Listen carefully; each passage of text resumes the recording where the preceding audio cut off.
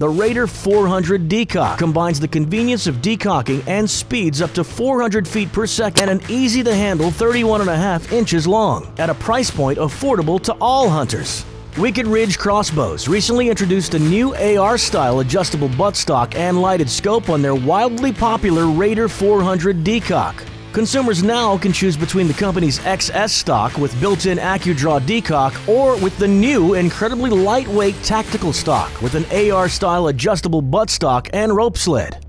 The new tactical stock features an adjustable buttstock that locks in six positions and allows for up to two and a half inches of adjustability in five different half inch increments. Designed to provide adjustability and versatility for all shooters, the stock dramatically reduces the overall weights of the crossbow as well. The Raider's patented D1 trigger is Wicked Ridge's smoothest trigger ever. This two-stage zero creep design includes a new dry fire prohibitor and delivers a consistent, crisp three and a half pound pull.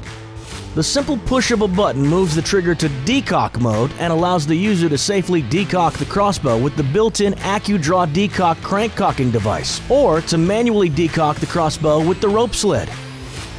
In addition, the easy-to-operate ACUdraw decock reduces the effort required to cock the crossbow to just 5 pounds and is equipped with the 1,000-pound strength nylon strap to reduce wear and abrasion.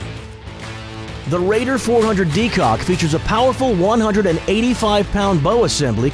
The bow assembly measures a narrow 15 inches wide and drives an arrow downrange up to a blazing 400 feet per second.